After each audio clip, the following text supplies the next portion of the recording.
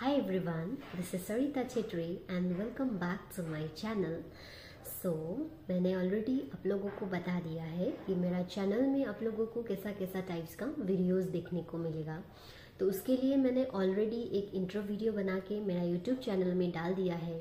तो अगर आप लोगों ने नहीं देखा है तो please go and check it out so this is my first video so in this video I am going to discuss about anesthesiology. That is anesthesia. What is anesthesia? What are the components of anesthesia? The stages of anesthesia. Don't skip the video. And if you like the video don't forget to like share and subscribe. Thank you.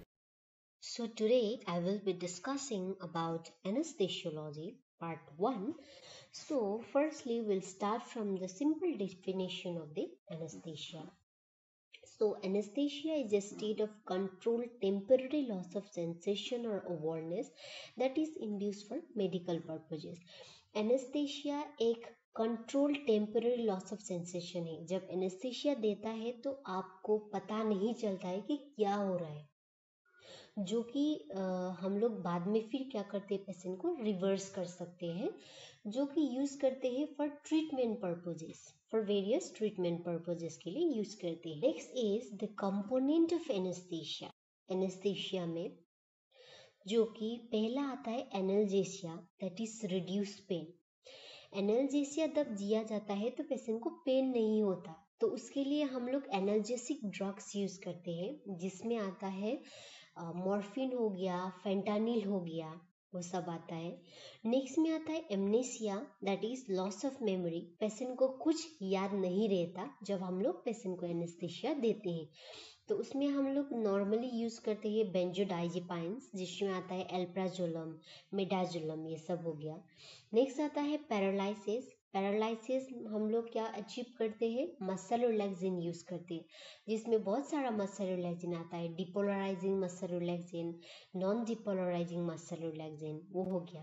Next आता है unconsciousness which can be achieve by using some sedative drugs next is the loss of autonomic system reflexes so this is the component of anaesthesia so next one is the stages of anaesthesia anaesthesia में भी stage wise आता है।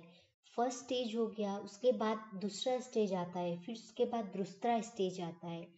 तो first आता है induction stage तो जब हम लोग एनेस्थेशिया टेबल में पेशेंट को हम लोग जब टेबल में लेते हैं तो पेशेंट का ऑलरेडी आईवी एक्सेस होता है। तो हम लोग मेडिकेशन देता है थ्रू आईवी एक्सेस ठीक है। तो एनेस्थेशिया देने के बाद जो आता है फ़र्स्ट स्टेज इंडक्शन स्टेज आता है।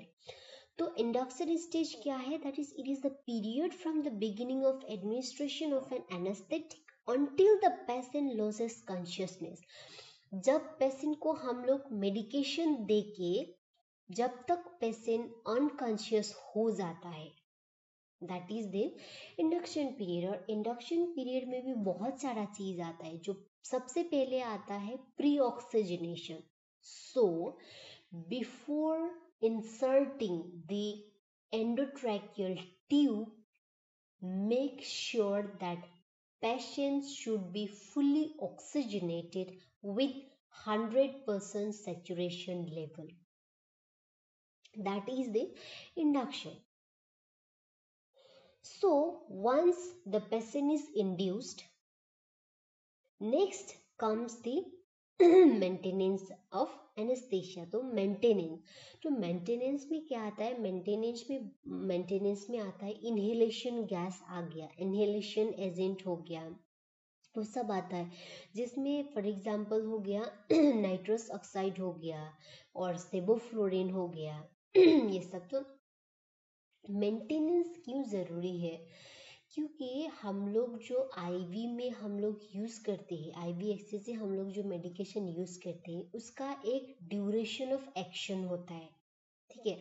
तो अगर हम लोग वो मेडिसिन और प्लस इनहेलेशन एजेंट को मिक्स करके हम लोग एनेस्थेशिया दे रहे हैं तो जो मेंटेनेंस का जो इफ़ेक्ट होता है that will be more efficient that is the, that is the maintenance.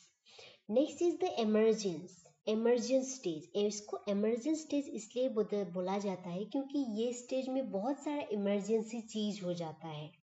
तो इमरजेंस क्या है? जब हम लोग सर्जरी खत्म होने के बाद पेशेंट को जब हम लोग क्या करते हैं?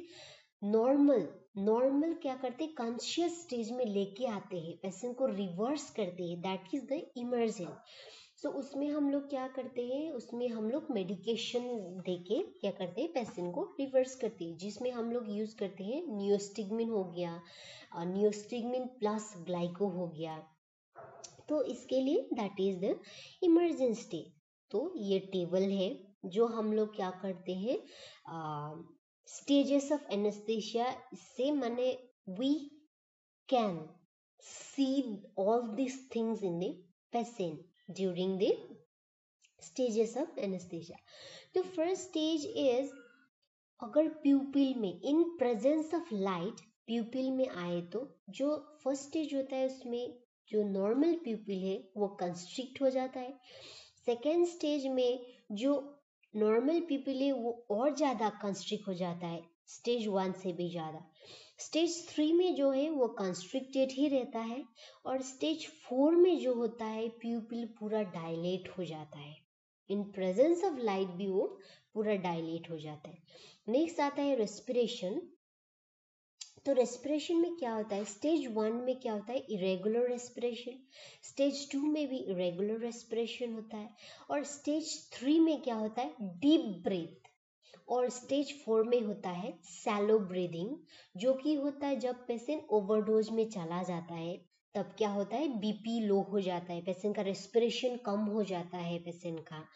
तो उसको क्या बोलते हैं? It is also called the stage of danger next आता है पल्स जिसमें फ़र्स्ट स्टेज में इरेगुलर रहता है सेकेंड में इरेगुलर एंड फास्ट रहता है, और थर्ड वन में स्टेडी एंड स्लो रहता है, और फोर्थ में होता है वीक एंड थ्रेडी मतलब कम हो जाता है पल्स एकदम कम हो जाता है।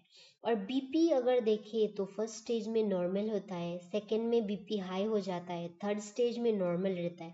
और फोर्थ में बीपी कम हो जाता है जब क्या होता है ड्रग टॉक्सिसिटी हो जाता है तब क्या होता है पेशेंट का बीपी कम हो जाता है। That is all about the stages of anaesthesia all about today's presentation.